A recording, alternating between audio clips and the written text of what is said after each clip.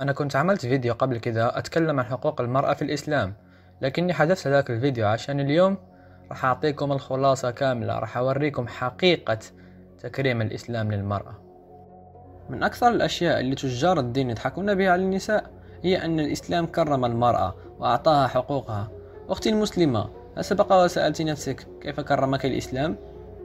لنبدأ بحجابك لماذا فرض الله عليك الحجاب؟ نعم لأن الحجاب فرض وليس باختيارك. وجاء ذلك في سورة الأحزاب الآية 59 لذلك أنت مفروض عليك الحجاب. وهل تعرفين لماذا؟ لا. طبعا لأن تجار الدين يحاولون تجنب هذه المسألة قدر الإمكان. السبب هو عمر بن الخطاب لأنه كان يقول للرسول محمد أحجب نساءك. والرسول لم يهتم لكلامه. فصار عمر يضايق أزواج الرسول. مثلا في مرة كانت سودة بنت زمعة وهي أحد زوجات الرسول. فكانت تخرج بالليل حتى تتبرز وكانت يعني تقضي حاجتها لأن المراحيض لم تكن لديهم في ذلك الوقت. فكان عمر بن الخطاب عندما يرى زوجة الرسول وهي ذاهبة للتبرز يقول لها آه لقد عرفناك يا سودة لقد عرفناك. كنا نخرج أزواج النبي النبي صلى الله عليه وسلم آه، إلى المناصع في الليل بعد العشاء لقضاء الحاجة لأن الناس لم يكونوا في ذلك الزمان قد اتخذوا الكنف التي نسميها الآن الحمامات. وكان عمر بن الخطاب رضي الله تعالى عنه يقول لرسول الله صلى الله عليه وسلم يا رسول الله احجب نساءك. ولم يكن الحجاب قد فرض على النساء في ذلك الوقت. ففي ليلة من الليالي رأى عمر بن الخطاب سودة بنت زمعة وكانت امرأة طويلة جسيمة. فقال لها يا سودة إنا قد عرفناك. قال ثم ذهبت لقضاء حاجتها وعادت قال فما مر وقت قصير إلا وآية الحجاب تنزل ويأمر الله نساء المؤمنين بالحجاب. لهذا أنزل الله تلك الآية التي تفرض الحجاب الذي تلبسينه أنت اليوم. يعني الموضوع لا فيه أنت حلوة وأنت جوهرة كما يضحكون عليك. كل ما في الأمر هو أن محمد قال تلك الآية لكي يكف عمر عن مضايقة زوجاته. يعني موضوع تافه جدا جدا. وكل بنت عربية لا تريد لبس الحجاب اليوم تعاني بسبب عمر بن الخطاب ومحمد. أصلا لو كان الدين كرمك ورفع من قيمتك لمن كان يعتبرك عورة. إن المرأة عورة فإذا خرجت استشرفها الشيطان. ومن كثر ما يعتبروك عورة يا أختي المسلمة صاروا يسألون هل صوتك أيضا عورة؟ صوت المرأة على شاشة التلفاز عورة ولا مش عورة؟ صوت المرأة هل هو عورة؟ هل صوت المرأة عورة؟ شوفي كمية الحقارة اللي وصلنا لها يعني إحنا تجاوزنا مرحلة هل المرأة عورة وأصبحنا نسأل هل صوتها عورة أيضا ويعتبرونك أيضا في صورة شيطان يعني آه. تجار الدين يحاولون ترقيع هذا الحديث ويقولون لا إنما المقصود بالشيطان أنها تثير الشهوات وتسبب الفتنة بين الشباب أها. هل ترى أي فتنة بسبب المرأة عند الغرب؟ أحسن دولة للمرأة في العالم هي الدنمارك. 70% من سكانها مسيحيين وما فيش تحرش. هذا هم النصارى اللي أنتم كل جمعة تدعون عليهم بالهلاك. ونحن المسلمين اللي بنعتبر المرأة عورة وغلفناها بالحجاب دولنا محتلة أعلى نسب التحرش في العالم. السعودية واليمن وباكستان وسوريا في لائحة أخطر الدول ممكن المرأة تعيش فيها. أختي المسلمة كل ما ذكرت سابقا فقط مقبلات. لسه ما وصلناش للأحاديث والآيات اللي تهينك وتدعس على كل حقوق المرأة تعرفيها. خلينا من أن النساء أكثر أهل النار وناقصة عقل ودين وشهادتهم نصف شهادة الرجل. خلينا من كل ده. أختي المسلمة أكيد شفتي فيلم الرسالة وكيف كان يتم جلد بلال؟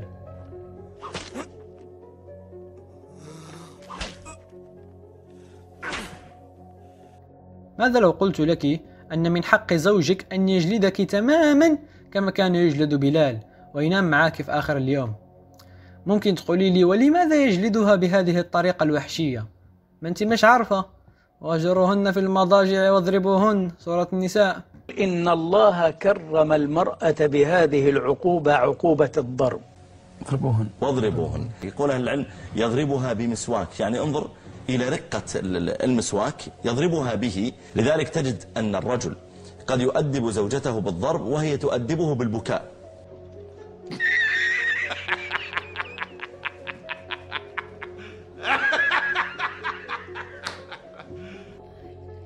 بالسواك يا. تعال اشرح لفلان اللي قتل زوجته إنه كان عليه أن يضربها بالسواك فقط. انظروا إلى الدول العربية أكثر الدول في العالم بها عنف ضد النساء. والسبب؟ الآية الكريمة دي. لما زوجك يروح المسجد ويسمع الإمام يقول واهجروهن في المضاجع واضربوهن فكيف تتوقع أنه سيعاملك؟ يوجد أكثر من هذه النسبة لأن المرأة العربية عندما يضربها زوجها لا تذهب للشرطة بل تسكت خوفا من تشتت شمل أسرتها. ما أنت عارف من راح يقبل بامرأة بدون غشاء البكرة. شايفة يا أختي المسلمة لو كان الرجل أمي لا يعرف القراءة والكتابة وكنت أنت أستاذة في جامعة تبقى شهادتك بنصف شهادته. وحاول تفهمي أنه هذه السيدة شهادتها بنصف شهادة هذا. والسبب ببساطة لأن النساء جهلة والعلم فقط للرجال. العلم إنما هو للرجال العلم بتاع الرجالة بس. والأصل عندنا أن تقر المرأة في بيتها. والأصل أنها لا تخاطب الرجال إلا لضرورة وإنها تعتذر الرجال. ده الأصل الأصيل في القرآن والسنة. الجهل فاشي في النساء. معروف. الجهل فاشي في النساء. كيف تتوقع أن تكون المرأة ذكية مع حديث لن يفلح قوم ولوا أمرهم امرأة؟ في الصحيح أن النبي صلى الله عليه وسلم قال لن يفلح قوم ولوا أمرهم امرأة. وقول النبي لا يفلح قوم ولا أمرهم امرأة في بشكل عام ولذلك لا تقبل إمامتها ولا تقبل قاضية. لا أنت يا أختي المسلمة ستجدين المرأة رئيسة وملكة. شايفة حتى قبل الإسلام قبل ما يدخل الإسلام شمال إفريقيا كانت بلاد الأمازيغ تحكمها ملكة وهي الملكة ذيهية أنت كبنت ستجدين نفسك في كل المجالات التي تخطر على بالك لكن ليس في مجتمعك لأن مجتمعك يعتبرك لا تصلحين لشيء إلا للجنس. ولا تساوي شيء إلا ما يوجد بين فخذيك. من ساعة ما تتولدي راح يتحكم المجتمع في لبسك جسمك وحتى في طريقة حياتك ومستقبلك. الله حاطط بالقرآن آية تكرم الناقة ولا تمسوها بسوء وأنت حاطط لك الضرب يا أختي المسلمة. في شيء آخر واللي يقدر يخلي أي شخص يترك الدين بعد ما يشوفه وهو زواج الأطفال. معظم الدول اليوم تمنع زواج الأطفال لكن في الإسلام ممكن زواج الأطفال عادي. وجاء أيضا في القرآن يا ناس في القرآن. أي اللي لم يحض عدتهن ثلاثة أشهر. أي أن هذا يجوز للي لم يحضن أن يتزوجن. فعليه يجوز العقد على الصغيرة. الصغيرة التي لم يأتها الحيض بعد. تتجوز عادي. يجوز. يجوز. يعني لو عندها يوم واحد ما اللي عندها يوم واحد ما فيش حيض لسه. صحيح. ممكن تتجوز؟ صحيح. واللائي لم يحضن هو ده مربط الفرس زي ما بيقولوا آه. أو موضع الكلام. اللائي لم يحضن إجماع المفسرين م. إنها الصغيرة. تعرفي شيء؟ أنت حاليا عندك خيارين. يا إما تتقبلي زواج الأطفال وتتبعي دينك بطاعه عمياء واما تتركي الدين وتصبحي كافرة. هذول الخيارين اللي عندك ما فيش ثالث. انظري حواليك. أنت فعلا متأكدة إنه ده هو دين الله؟ ناس بتقتل الناس باسم الدين. وناس بتتزوج أطفال باسم الدين والناس بتعتدي على أجسادنا وإحنا صغار بدون موافقتنا باسم الدين والناس اللي تعدم باسم الدين. أي شخص ترك الإسلام إذا سألتيه عن الأسباب سيذكر لك الكثير والكثير ومن الأسباب المرأة. مثلي أنا أنا لن أقبل أبدا بدين يهين المرأة بهذه الطريقة ولو كان حتى ولو كان من عند خالق الكون لن أقبل به. لن أقبل بدين يعتبر المرأة كالكلب والحمار. مستحيل دي مستحيل. أنت ترى الأجانب يسلمون وهم حتى لا يفهمون اللغة العربية. يعني لن يفهموا هذه المسائل. حتى عندما يذهبون للمساجد هناك هل تتوقع أنهم يخبرونهم بضرب المرأة؟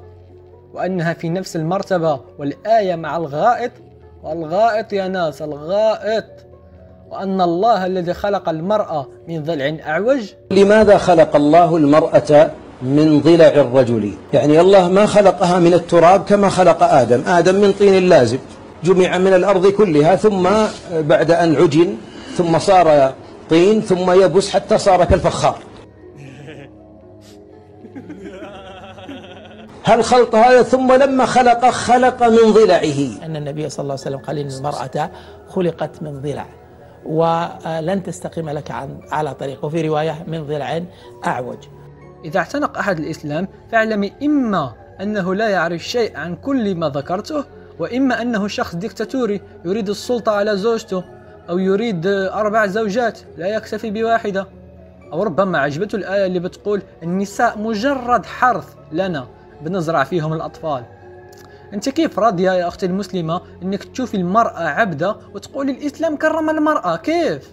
لا يجوز الإنسان يتزوج أمه يتزوج عبده ما يجوز الملك اليمين هي يتعلق بالنساء ولذلك للرجل أن يستسر بملك اليمين So Quran put a restriction that you cannot have sexual intercourse with anyone except those women who you have married.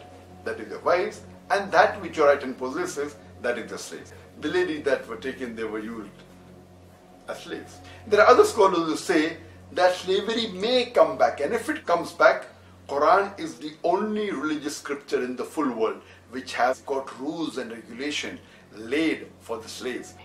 وده قوة ظريفة أختي المسلمة انظري حولك كيف الناس تعاني كل يوم في السعودية في إيران في مصر وفي كل بلد إسلامي وهذا بسبب شخص عاش منذ 1400 سنة أختي المسلمة أنا لا أحاول أن أجعلك تتركين الدين. أنا فقط أريد أن أوصل لك الصورة الحقيقية للمرأة في الإسلام ويبقى القرار لك أن تبقي مسلمة أو تتركي الإسلام. كل المصادر المذكورة في الفيديو راح تحصلها أسفل الوصف حتى ما يجي أصحاب الطاعة العمياء ويقولوا لي أنت كذاب يا زنديق. يا إذا كان عندكم أي سؤال آخر راسلوني على صفحتي على الفيسبوك. سلام.